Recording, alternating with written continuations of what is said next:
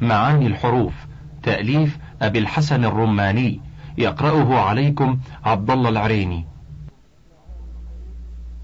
معاني الحروف لأبي الحسن علي بن عيسى الرماني الذي حققه وخرج شواهده وعلق عليه وقدم له وترجم للرماني وأرخ لعصره الدكتور عبد الفتاح إسماعيل شلبي.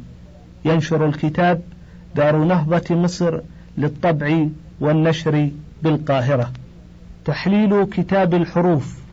لعل علي بن عيسى الروماني ألف كتاب الحروف على مثال كتاب الحروف لأرسطاليس الذي أشار إليه ابن النديم حيث قال وترتيب هذا الكتاب كتاب أرسطاليس على ترتيب حروف اليونانيين وأوله الألف الصغرى ونقلها إسحاق والموجود منه إلى حرف مو ونقل هذا الحرف أبو زكريا يحيى بن عدي وقد يوجد حرف نو باليونانية بتفسير الإسكندر.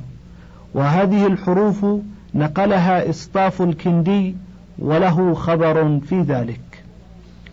وقد بدأ الرماني بالحروف الأحادية ثم ثنى بالثنائية ثم تحدث عن الثلاثية فالرباعية.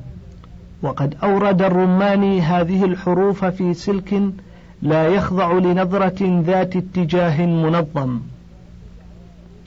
فقد تحدث عن الحروف بالترتيب الآتي الحروف الأحادية الهمزة الباء التاء السين الفاء الكاف اللام الواو الحروف الثنائية وقد أوردها على النسق الآتي ال أم أن إن أو أي لا ما و ها بل عن في من قد كي لم لو هل مذ. الحروف الثلاثية. منذ نعم بلى ثم جيري خلا رب على سوف إن أن ليت ألا إلى إذا أيا ثم ساق الكلام عن حاشا حتى كأن كلا لولا لوم لعل ألا أما إما هلا لما لكن تلك هي الرباعية. وبمراجعة هذا الترتيب الذي أورده يلحظ أنه ألف التزم الترتيب على حسب الأحرف الهجائية في الحروف الأحادية. ب لم يلتزم هذا الترتيب في الحروف الثنائية. فهو يورد بل بعد ياء وقد بعد من ومذ بعد هل. وقد تجد شيئا من هذا في الحروف الثلاثية والرباعية. قد يقال ربما رتب الرماني هذه الحروف ترتيبا يخضع لنظام غير ترتيب الحروف الهجائية كأن يرتبها على حسب العامل منها أو الهامل على حد تعبيره. أو التي تعمل النصب معا أو التي تعمل الجر كذلك. ولكن ولكنك تطبق شيئا من ذلك أو غيره فلا تمضي في الطريق حتى يلتوي عليك أو يغلق. والرماني في حديثه عن الحروف يذكر الحروف ويبين أعامل هو أم هو هامل. ثم يورد الاستعمالات المخت... يورد الاستعمالات المختلفة مبنية على أقوال النحاة وما حكي عن أئمتهم كالخليل وسيبويه والمازني والمبرد وعلي بن سليمان الأخفش وقد يكتفي بإيراد ما يقول هؤلاء الأئمة دون تعليق عليها حينا وقد يعقبها بتعليق أو تفنيد أو تفسير أو اعتراض أو ترجيح وحينئذ تبرز شخصيته في وضوح. وهو غالبا يعتمد ما يقوله سيبويه ويخالف الكسائي والفراء. وقد رأيته يستشهد بابن جني والربعي ويعلق على رأي للربعي بأنه قريب مع أن كلا مع أن كلا منهما تلميذ لأبي علي الفارسي. على حين أنه لم يستشهد بالفارسي مع أن له آراء متعالمة مشهورة. فالفارسي مثلا هو الذي روى البيت إذا زرتنا فامنح بطرفك غيرنا كما يحسب أن الهوى حيث تنظر. جاعلا مكان كما كي. ومع ذلك فقد طوى الرماني ذكره ولم ينشر خبره. ولا أدري لذلك سببا إلا أن يكون قد أضرب صفحا عن الفارسي لقولته التي رماه بها والتي تعرضت لتحليلها فيما مضى من حديث. وترى في كتاب الحروف قواعد عامة قواعد عامة تعد أصولا نحوية كأن يقول المضمر يرد, يرد الأشياء إلى أصولها في غالب الأمر أو يقول لا يجوز أن تقع أو مع الأفعال التي تقتضي فاعلين. والرماني في كتابه الحروف يعرض آراء البصريين والكوفيين وقد يسردهما سردا لا تعليق فيه ولا تعقيب فلا تكاد عندئذ تتبين مذهبه النحوي وقد تجد ما يدل على بصريته في خفوت حينا كأن يقول مذهب البصريين وزعم بعض الكوفيين. وفي وضوح حينا كأن يضرب صفحا عن الشاهد الواحد فلا يعتد به ويعده شاذا لا يؤخذ به ولا يقاس عليه. ومما يتصل بمذهبه النحوي وأنه إلى البصرية أميل تحكيمه مذاهب النحاة في قراءات للقرآن الكريم فيحكم على قراءة صحيحة بأنها بعيدة عند النحويين كما حكم على قراءة تماما على الذي أحسنوا وكذلك تعليقه على قراءة لأقسم بقوله وفيها نظر. والرماني يمزج كلامه في النحو بما يتصل بعلم المعاني. فقد ذكر أن الهمزة لا تكو أن الهمزة تكون للإنكار والتوبيخ والاسترشاد وتقرير الخبرية. في قوله تعالى ألم تر أن الله أنزل من السماء ماء فتصبح الأرض مخضرة؟ إن الله لطيف خبير. وإن خرج مخرج الاستفهام. وقوله قد تقع اللام بمعنى العاقبة وقد يقع الأمر موقع الخبر كقوله تعالى فليمدد له الرحمن مدا. والرماني يؤيد ما يذهب إليه بالصحيح من الشواهد القرآن الكريم والشعر العربي وقد رأيته يستشهد بالحديث الشريف كما أورد بيتا لبعض المولدين وعلق على قوله بالقبح وتجد إشارات إلى لهجات القبائل في قلة يذكرها في معرض الحديث عن الاستعمالات المختلفة للأحرف كإشارات إلى لهجة هذيل والحرث بن كعب والتميميين والحجازيين كما يتعرض لرسم المصحف ويحتج به. كتاب الحروف الحروف الأحادية الهمزة. منها الهمزة وهي تستعمل في موضعين في النداء والاستفهام. فإذا استعملت في النداء فلا ينادى بها إلا القريب دون البعيد لأن مناداة البعيد تحتاج إلى مد الصوت وليس في الهمزة مد.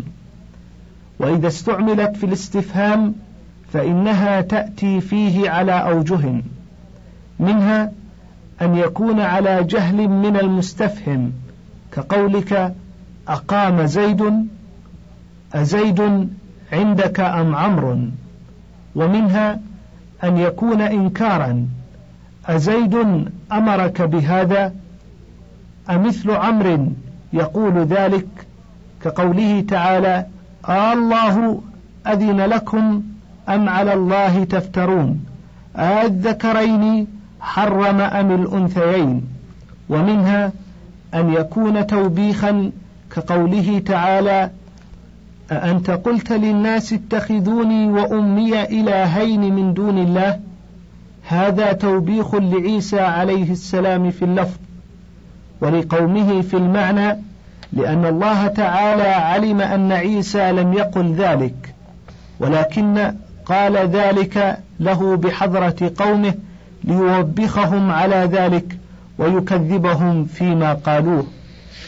ومنها أن يكون تعجبا كقولك أيكون مثل هذا؟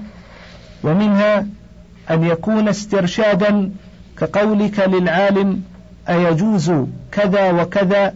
كقوله تعالى أتجعل فيها من يفسد فيها؟ وذلك أنهم استرشدوا ليعلموا وجه المصلحة في ذلك. وقيل هي تعجب تعجبت الملائكة في ذلك. وزعم أبو عبيدة أنها إيجاب وليس بشيء لأن الملائكة لا توجب ما لم يوجبه الله ولا تصرف همزة الاستفهام على معنى الإيجاب لأن الاستفهام خلاف الواجب. وتكون تقريرا وتحقيقا وذلك إذا دخلت على ما أو لم أو ليس. كقولك أما أحسنت إليك ألم أكرمك؟ ألست بخير من زيد؟ والجواب بلى. وإن شئت قلت ألست خيرا من زيد. قال جرير ألستم خير من ركب المطايا؟ وأندى العالمين بطون راحي. ويكون تسوية وذلك في أربعة مواضع وهي ما أبالي أقمت أم قعدت؟ وليت شعري أخرج أم دخل؟ وما أدري أأذن أم أقام؟ وسواء علي أغضبت أم رضيت؟ قال الله تعالى سواء علينا أوعظت أم لم تكن من الواعظين. وقال حسان ما أبالي أنب بالحزن تيس أم لحاني بظهر غيب لئيم.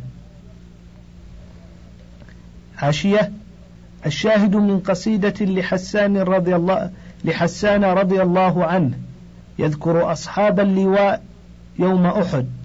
وأول هذه القصيدة منع النوم بالعشاء الهموم وخيال إذا تغور النجوم.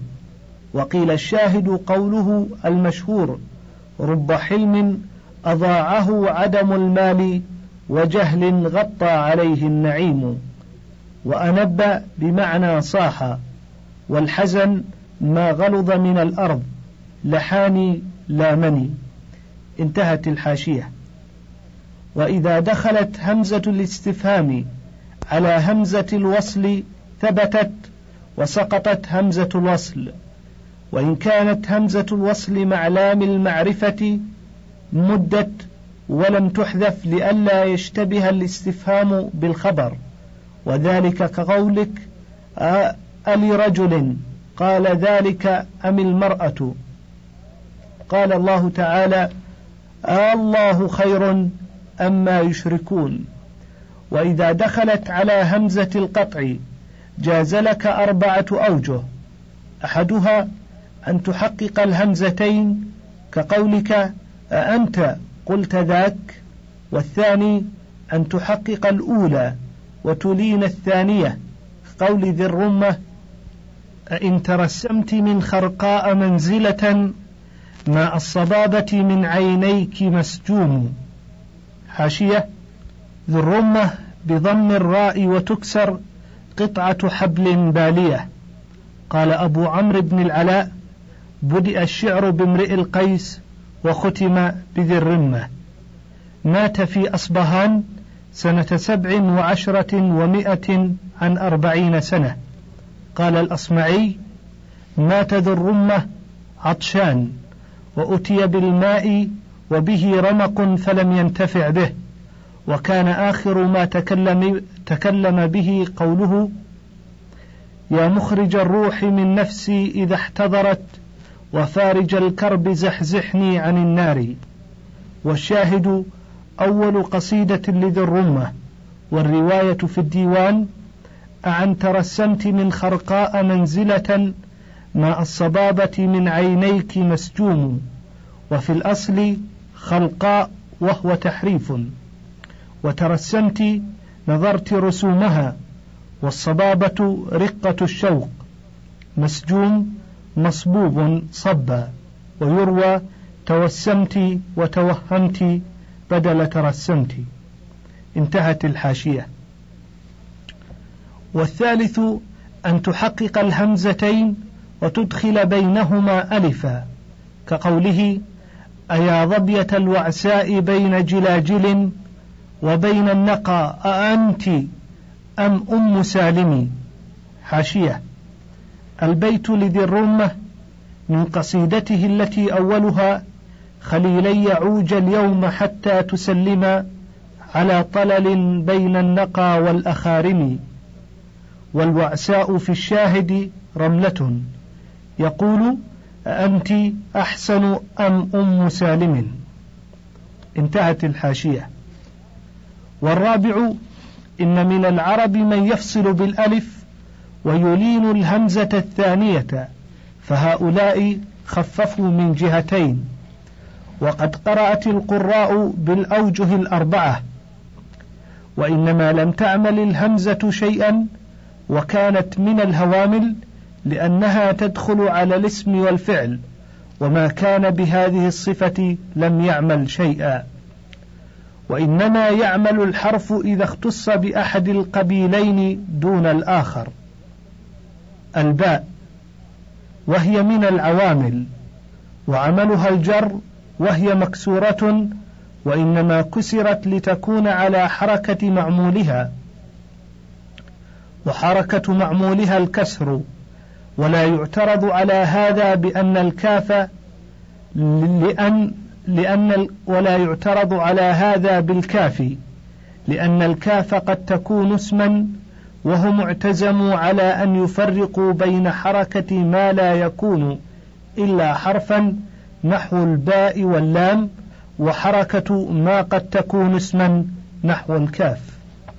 والباء تأتي على وجوه من ذلك. أن تكون للإضافة نحو قولك مررت بزيد أضفت المرور أضفت المرور بالباء إلى زيد. وتكون للاستعانة كقولك كتبت بالقلم وقطعت بالمدية. وتكون للظرف كقولك أقمت بمكة وكنت بالبصرة قال الشماخ. وهن وقوف ينتظرن قضاءه بضاحي عذات أمره وهو ضامر. وتكون قسما كقولك بالله لأخرجن وهي أصل حروف القسم. وتكون حالا كقولك خرج بثيابه والمعنى خرج مكتسيا.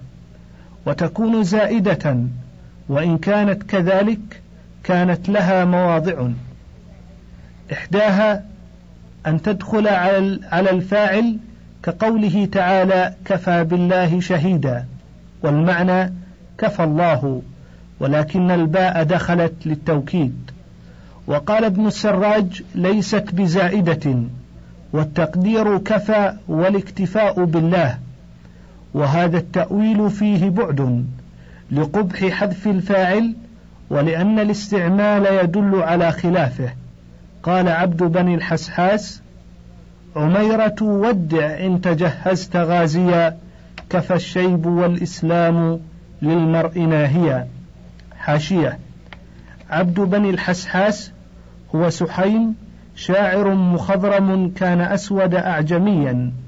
من شعره الحمد لله حمدا لا انقطاع له فليس إحسانه عنا بمقطوع.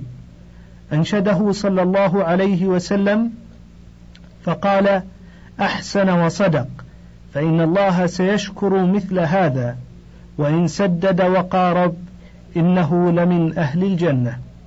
انتهت الحاشية.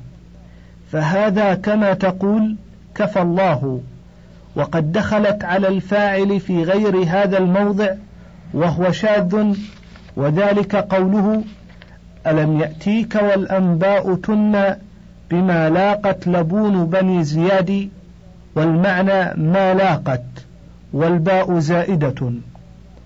وزيدت في المبتدأ نحو قولك بحسبك زيد والمعنى حسبك. وزيدت في خبر المبتدأ وذلك نحو قوله تعالى وجزاء سيئة بمثلها. والمعنى فجزاء سيئة مثلها وهو قول أبي الحسن. وقد قيل الخبر محذوف والباء في موضع الحال وهي متعلقة بمحذوف. والتقدير فجزاء سيئة كائنا بمثلها واجب. وقيل الباء تتعلق بنفس جزاء والخبر محذوف أيضا.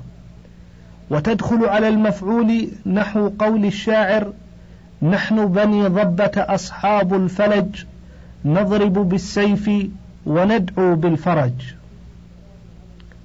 ومما دخلت فيه الباء على المفعول قوله تعالى ولا تلقوا بأيديكم إلى التهلكة والمعنى ولا تلقوا أيديكم إلى التهلكة فأما قوله تعالى تنبت بالدهن فتقرأ تنبت وتنبت فمن قرأ تنبت بفتح حرف المضارعة ففيه وجهان. أحدهما أن تكون الباء للتعدية كقولك ذهبت به في معنى أذهبته. والتقدير تنبت الدهن ومثل ذلك قوله تعالى ما إن مفاتحه لتنوء بالعصبة أي تنيء العصبة والهمزة والباء متعاقبان في هذا ونحوه. والثاني أن تكون الباء في موضع الحال والتقدير تنبت وفيها الدهن كما تقول خرج بدرعه أي خرج دارعا. ومن هذا قوله عز اسمه وقد دخلوا بالكفر وهم قد خرجوا به. لا يريد أنهم دخلوا يحملون شيئا وخرجوا يحملونه وإنما يريد أنهم دخلوا كافرين وخرجوا كافرين. ومن هذا قول الشاعر ومستنة كاستنان الخروف قد قطع الحبل بالمورد. حاشية. الخروف ولد الفرس إذا بلغ ستة أشهر أو سبعة حكاه الأصمعي في كتاب الفرس. انتهت الحاشية. أي وفيه المرود.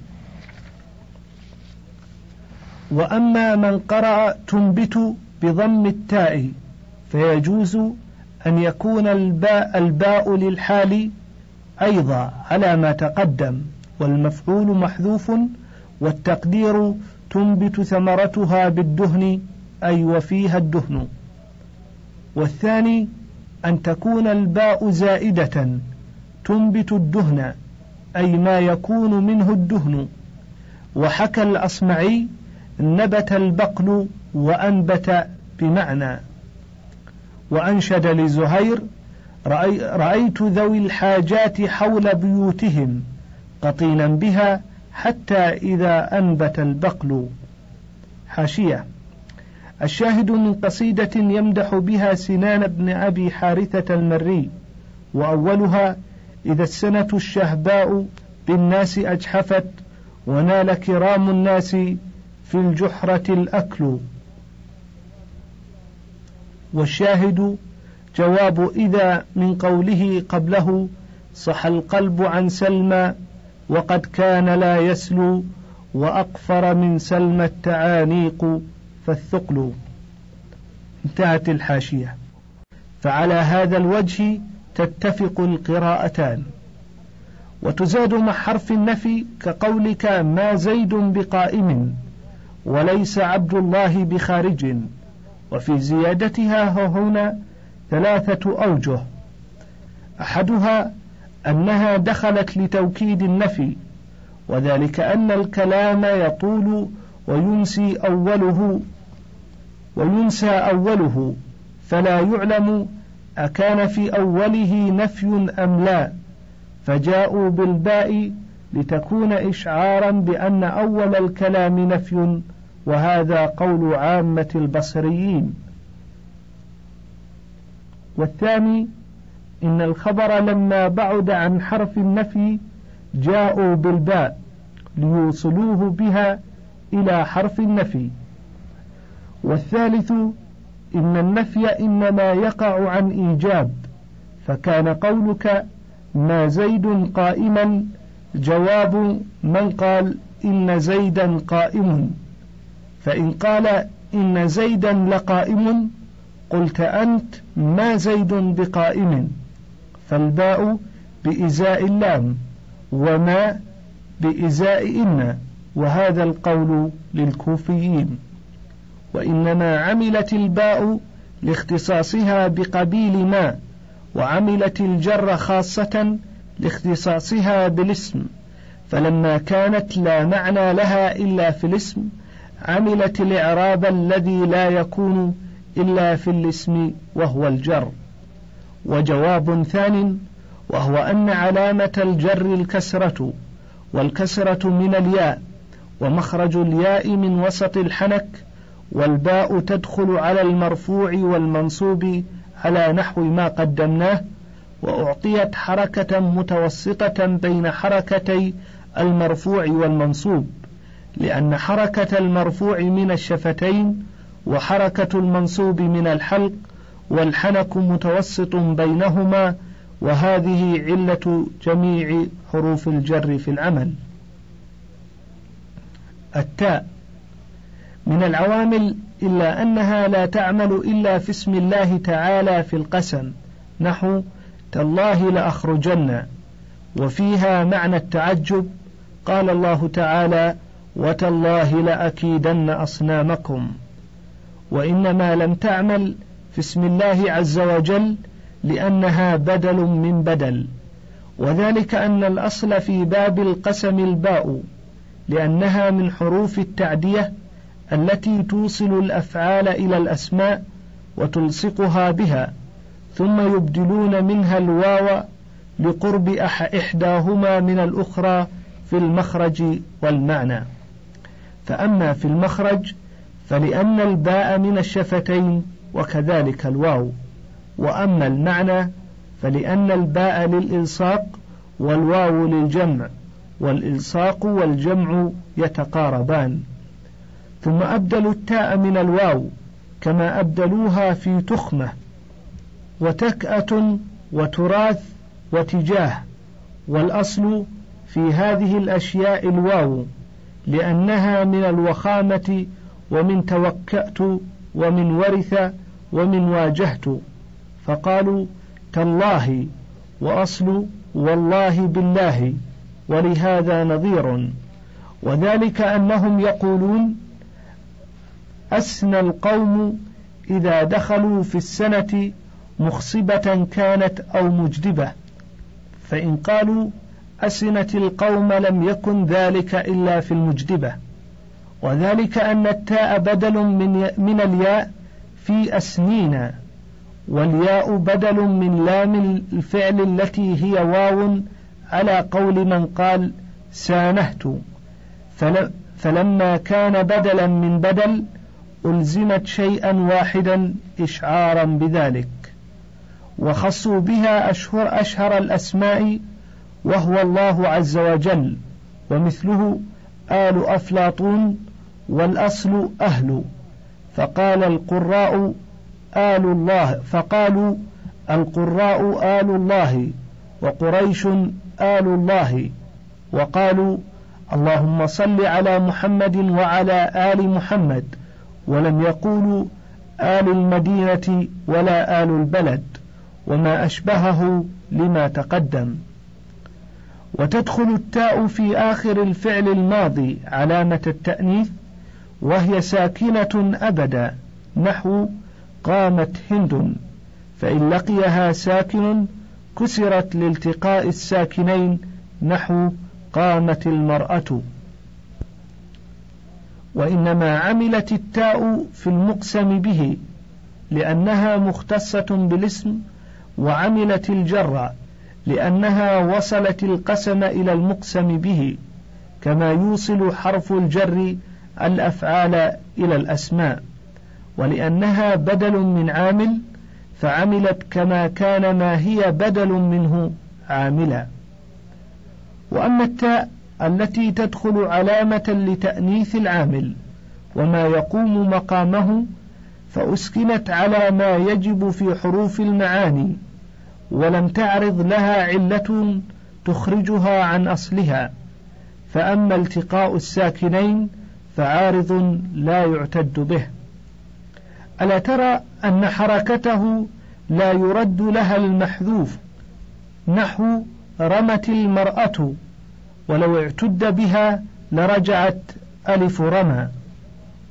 السين من الحروف العوامل لأنها قد صيغت مع ما دخلت عليه حتى صارت كأحد أجزائه. ولولا ذلك لوجب أن تعمل لأنها مختصة بالفعل ومعناها التنفيس. وذلك قولك سأخرج وسأذهب فهي عدة وتنفيس كما قال سيبويه وإذا دخلت على الفعل أخلصته للاستقبال بعد أن كان محتمل الزمانين فهي في الأفعال بمنزلة لام المعرفة للأسماء. والسين في كلام العرب على خمسة أوجه. سين الاستقبال وسين النقل كما كقولك استنوق الجمل وسين الطلب استسقيته فسقاني وسين الوجدان استحسنته أي وجدته كذلك. والسين الزيادة نحو سلم واستسلم ونحو أخرج واستخرج. الفاء من العوامل لأنها تخص أحد القبيلين دون الآخر ولها ثلاثة مواضع العطف والجواب والزيادة. فالعطف نحو قولك رأيت زيدا فعمرا وهي مرتبة تدل على أن الثاني بعد الأول بلا مهلة. والجواب على ضربين أحدهما أن ينتصب الفعل بعدها على إضمار أن وذلك في ستة مواضع.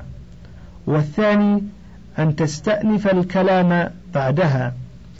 فأما المواضع الستة التي ينتصب الفعل فيها بإضمار أن فهي الاستفهام والأمر والنهي والتمني والجحد والعرض.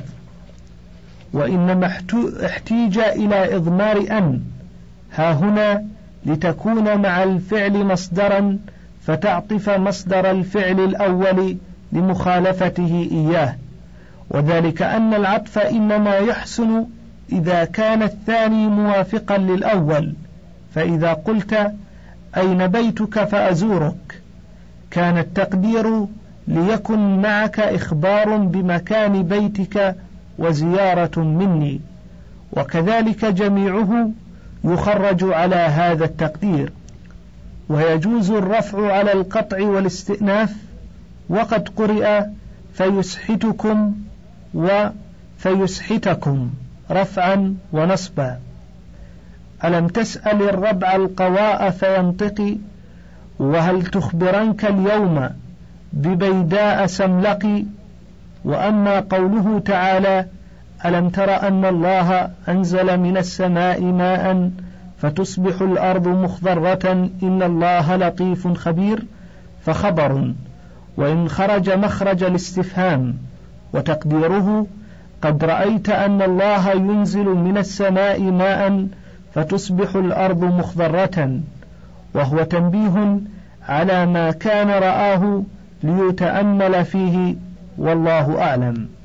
فإن حذفت الفاء من هذه الأشياء جزمت إلا الجحد فإن جوابه لا يكون إلا بالفاء. ومن الكلام ما لا يجوز إلا مع الفاء وذلك قولك لا تدن من الأسد فيأكلك. ولو قلت لا تدن من الأسد يأكلك لكان محالا لأنك تجعل المباعدة منه سبب الأكل. ألا ترى أن التقدير إلا تدن من الأسد يأكلك؟ فإن جئت بالفاء حسن لأن التقدير لا يكون منك دنو إلى الأسد فأكل منه. وأما ما يستأنف فيه الكلام بعد الفاء فالشرط. وذلك نحو قولك إن تقصدني فأكرمك. ومن جاءني فأحسن إليه. قال الله تعالى ومن عاد فينتقم الله منه. وقال ما يفتح الله للناس من رحمة فلا ممسك لها وما يمسك فلا مرسل له من بعده. وأما زيادة الفاء فنحو قوله تعالى قل إن الموت الذي تفرون منه فإنه ملاقيكم. والمعنى إن الموت الذي تفرون منه إنه ملاقيكم لأن الكلام لا وجه للجزاء فيه لأن الموت فروا منه أو لم يفروا يلاقيهم هذا هو الظاهر. ويجوز أن يكون في الكلام معنى الشرط كأنهم ظنوا أن الفرار من الموت ينجيهم وقد جاء الشرط المحض. على هذا التأويل؟ قال زهير ومن هاب أسباب المنايا ينلنه ولو رام أسباب السماء بسلم. حاشية. الشاهد من معلقة زهير ويروى وإن يرقى مكان ولو رام. يقول ومن خاف أسباب الموت أدركته ولم ينفعه خوفه منها. ولو رام الصعود إلى السماء فرارا منها وبعيدا عنها. انتهت الحاشية. ومما جاءت فيه زائدة قول النمر بن تولب لا تجزعي إن منفسا أهلكته وإذا هلكت فعند ذلك فاجزعي. حاشية. نزل بالنمر بن تولب إخوان في الجاهلية. فعقر لهم أربع قلائص وسبأ لهم خمرا كثيرة فلامته امرأته على ذلك فقال أبياتا منها لا تجزعي إن منفسا أهلكته فإذا هلكت فعند ذلك فاجزعي وإذا أتاني إخوتي فذريهم يتعللوا في العيش أو يلهوا معي لا تطرديهم عن فراشي إنه لا بد يوما أن سيخلو موضعي. انتهت الحاشية. لا بد أن تكون إحدى الفاءين زائدة لأن إذا إنما تقتضي جوابا واحدا وزعم قوم أن الفاء تأتي عوضا من رب وأنشدوا فمثلك حبلى قد طرقت ومرضع فألهيتها عن ذي تمائم مغيلي والبيت لامرئ القيس وأنشدوا فإن أهلك فذي حنق لظاه يكاد علي يلتهب التهابا. حاشية يروى لهب مكان حنق والبيت لربيعة بن مقروم الضبي ابن مقروم الضبي. أحد شعراء مضر مخضرم عاش مئة سنة. انتهت الحاشية. والوجه عند البصريين أن رب ها هنا مضمرة وهي العاملة للفاء. يدل على ذلك قول الشاعر رسم دار وقفت في طلله كدت أقضي الحياة من جلله. فجر بإضمار رب ولا عوض منها ها هنا. الكاف وهي تجر ما بعدها وتكون اسما وحرفا. فمثال كونها اسما مررت برجل كعمر فموضعها ها هنا جر لأنها وصف لرجل. ومن كونها اسما قول الأعشى أتنتهون ولن ينهى ذوي شطط كالطعن يهلك فيه الزيت والفتل. فالكاف ها هنا في موضع رفع لأنها فاعلة. ومن كونها اسما قول امرئ القيس ورحنا بكبن الماء يجنب وسطنا وسطنا تصوب فيه العين طورا ويرتقي. حاشية. يقول رحنا بفرس كأنه ابن الماء في خفته وسرعته وابن الماء طاهر. وقوله وسطنا يعني بيننا وقوله تصوب فيه العين طورا وترتقي يقول تنظر العين إلى أعلاه وأسفله من إعجابها به. انتهت الحاشية. وتقول مررت بزيد كالأسد فموضع الكاف نصب على الحال من زيد. وتقول ما زيد كعمر ولا شبيها به إذا عطفت شبيها على موضع الكاف في لغة أهل الحجاز وإن شئت ولا شبيه على لغة بني تميم ويجوز ولا شبيها تعطف على عمر كأنك قلت ولا كشبيه. وأما كونها حرفا فنحو قولك مررت بالذي كزيد فالكاف ها هنا حرف ولولا ذلك لم يجز أن تكون صلة للذي. ألا ترى أنه لا يجوز مررت بالذي مثل عمرو حتى تقول مررت بالذي هو مثل عمرو فأما من قرأ تماما على الذي أحسن فبعيدة عند النحويين. ولكن يجوز مثل هذا إذا طال الكلام. لأن الخليل حكى ما أنا بالذي قائل لك شيئا. وإنما جاز أن تكون الكاف صلة لكونها حرفا كما توصل بفي في قولك مررت في الذي بالذي في الدار وتكون الكاف زائدة نحو قولك ما رأيت كمثلك والمعنى ما رأيت مثلك. قال الله تعالى ليس كمثله شيء وهو السميع البصير والمعنى ليس مثله شيء ولا يجوز أن تكون غير زائدة لأنه يصير كفرا وذلك أنه يكون إثبات مثل ونفي التشبيه عن ذلك المثل ويصير كأنه قال ليس مثل مثله شيء. وأجاز محمد بن جرير الطبري أن تكون غير زائدة ولكن يكون مثل بمعنى ذات على حد قولك مثلك لا يفعل كذا أي أنت لا تفعل كذا.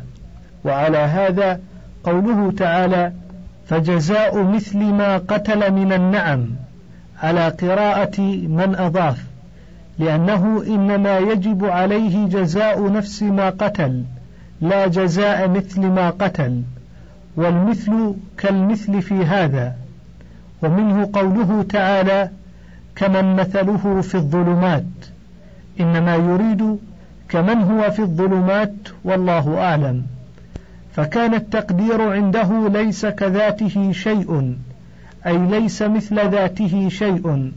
وهذا التأويل فيه بعد لأن المثل إنما يكنى به عن ذات الشيء في الأناس لأن بعضهم مثل مثل مثل لبعض في بعض الأحوال والله تعالى لا مثل له. ومن زيادتها قول الآخر وصاليات ككما يؤثفين حاشية. وصاليات بالجر عطف على مدخول غير قبله. في قوله لم يبق من آي بها يحلين غير رماد وخطام كنفين وغير ود جاذل أو دين. الآي جمع آية وهي العلامة. ويحلين من حليت الرجل وصفت حليته أي صفته. والخطام الزمام وكنفين تثنية كنف بكسر الكاف وهو وعاء الراعي وهو على حذف العاطف خلافا لقول الشمي إنه بدل مما قبله. وود أصله وتد أبدلت التاء دالا وأدغمت والجاذل المنتصب والصاليات الحجارة المحترقة. ويؤثفين بياء مضمومة وهمزة مفتوحة وثاء ساكنة أي يجعلن أثافي للقدر يوضع عليها عند الطبخ. وجاء به على الأصل المرفوض وإلا فالقياس حذف الهمز كيكرم في يؤكرم أي وغير حجارة محترقة من جدار الدار ككمن أي كحجارة يطبخ عليها في السواد والبلا. انتهت الحاشية. والمعنى كما يؤثفين ومثله فصيروا مثل كعصف مأكول أي فصيروا مثل عصف تقدر زيادة الكاف لأنها حرف ولا تقدر زيادة مثل لأنها اسم والأسماء لا تكون لغوا ومن زيادتها لواحق الأقرب فيها كالمقق أي فيها مقق أي طوله. وفتحت الكاف على ما يجب في الحروف التي تكون أحادية وذلك أن الفتح أخف الحركات فاختير لها لذلك. اللام تكون مفتوحة ومكسورة فالمفتوحة من الهوامل لا عمل لها وهي تكون للتوكيد في المبتدأ. نحو قولك لزيد أفضل من عمرو وقد اضطر الراجز فأدخلها على خبر المبتدأ. فقال أم الحليس لعجوز شهربة ترضى من اللحم بعظم الرقبة. وتدخل في خبر إن توكيدا ودخولها يوجب كسر إن. قال الله تعالى والله يعلم إنك لرسوله. وإنما دخلت لتوكيد الخبر كما دخلت إن لتوكيد الجملة. وكان حقها أن تكون قبل إن إلا أنهم كرهوا الجمع بين حرفي التوكيد فزحلقوا اللام إلى الخبر وكانت اللام أولى بذلك لأنها غير عاملة وإن عاملة فكان تقديم العامل أولى وقد يضطر فيدخل اللام قبل إن وذلك مع إبدالها مع إبداله الهاء من الهمزة قال ألا يا سنا برق على قلل الحمى لهنك من برق علي كريم. حاشية البيت لأبي تمام حبيب بن أوس. يمدح المعتصم من قصيدة مطلعها رقت حواشي الدهر فه حواشي الدهر فهي تمرمر وغدا الثرى في حلية يتكسر. انتهت الحاشية. وقد يضطر فيأتي وقد يضطر فيأتي بلا مين في نحو قولك لهنك لقائم وهو قبيح وقد جاء به بعض المولدين وهو حبيب. فقال أربيعنا في خمس عشرة حجة حقا لهنك للربيع المزهر وقد أدخلها بعض الشعراء على خبر أمسى. أنشد ثعلب مروا عجالا وقالوا كيف صاحبكم؟ قال الذي سألوا أمسى لمجهودا. وحكى قطرب أراك لشاتمي وإني أراك لسمحا. وحكى يونس زيد والله لرافق بك. وقال كثير وما زلت من ليلى لدن أن عرفتها لك الهائم المقصى بكل مرادي وقد أدخلوها على خبر لكن وأنشدوا ولكنني من حبها لعميد. وقد أدخلوها على خبر إن المفتوحة أنشد قطرب ألم تكن حلفت بالله العلي إنما طاياك لمن خير المطي. وهذا كله شاذ لا يقاس عليه ولا يلتفت إليه.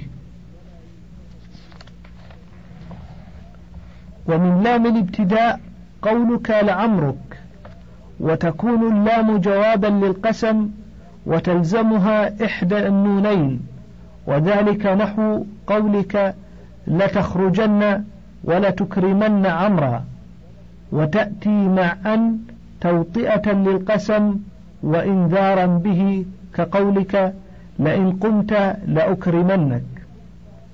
وإذا دخلت لام القسم على الفعل الماضي كانت معها قد كقولك والله لقد قام زيد ومنه قوله تعالى لقد كان لكم في رسول الله أسوة حسنة.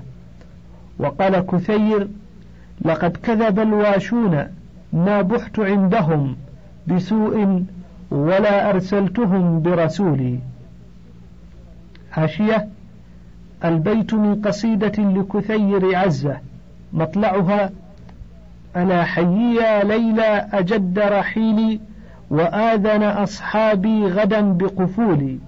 ورواية البيت في الأمان لقد كذب الواشون ما بحت, ما بحت عندهم بليلى ولا أرسلتهم برسيلي. وقد تحذف قد قال امرؤ القيس حلفت لها بالله حلفة فاجر لنام فما إن من حديث ولا صالي حاشية. البيت من قصيدته التي أولها ألاعن صباحا أيها الطلل البالي وهل يعمن من كان في العصر الخالي. والفاجر هنا الكاذب والصالي الذي يصطلي بالنار. يقول لو لما خوفتني من السمار أقسمت لها كاذبا أن ليس منهم أحد إلا نائما. وربما حذفت لام القسم لأن النون يدل عليها. قال الشاعر وقتيل مرة أثأرن فإنه فرغ وإن أخاكم لم يثأر وأجازوا حذف النون وإبقاء اللام كما حذف هذا الشاعر اللام وأبقى النون. وعلى هذا تأولوا رواية قنبل لا أقسم بيوم القيامة. قالوا حذفت النون لأنها تدل على الاستقبال وهذا الفعل للحال. وهذه القراءة فيها نظر. وتكون اللام جوابا للو ولولا في قولك ولو جاء زيد لأكرمته ولولا أخوك لأحسنت إليك وقد تحذف هذه اللام. وأما المكسورة فعاملة وعملها على ضربين الجر والجزم في الأفعال وهما متغايرتان وإن اتفق لفظهما. فالجارة نحو قولك المال لزيد والحبل للدابة. فاللام الأولى للملك والثانية للاختصاص. فإن دخلت هذه اللام على مضمر, على مضمر فتحت وذلك نحو قولك المال له والثوب لك. وفي فتحها وجهان. أحدهما أن أصلهما الفتح وذلك أن جميع الحروف التي هي أحادية حقها الفتح فلما اتصلت بالضمير رجعت إلى أصلها لأن المضمر يرد الأشياء إلى أصولها في غالب الأمر. والوجه الثاني أنها إنما كسرت مع المظهر للفرق بين لام التوكيد وبينها وذلك أنك لو قلت إن زيدا لهذا وأنت تريد الملك والاستحقاق لالتبس بقولك إن زيدا لهذا أي هو هو. فلما اتصلت بالمضمر استغني عن الفرق لأن علامة المضمر المجرور تخالف علامة المضمر المرفوع.